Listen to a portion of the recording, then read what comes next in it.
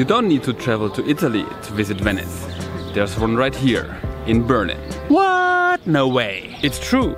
But why is it here? And is it worth going? Let's check it out.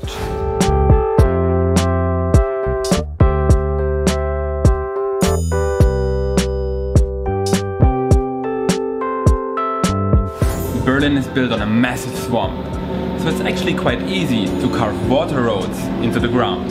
And since the real Venice will be gone soon, you should put this one on your list. The canals of New Venice are already a hundred years old. They were built in the 1920s and we will need a canoe to explore them.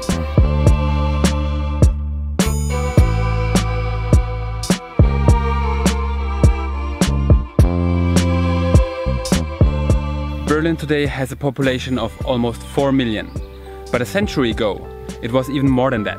There was an extraordinary need to escape the bustle of the dirty city. So the local government decided to develop this space into some kind of weekend getaway. And people started to build summer houses on these plots. Even today, all these old wooden houses are still standing in the center part of this area. And in the outer ones, they started to build massive villas. All of course with their own little wharfs in the front. Damn all those beautiful villas making me feel poor.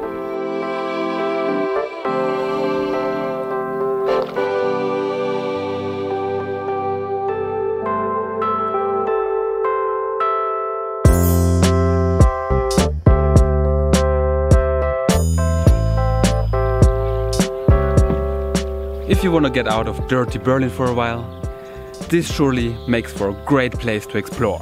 But make sure to bring someone to row. If you sit in the back, you don't even have to paddle.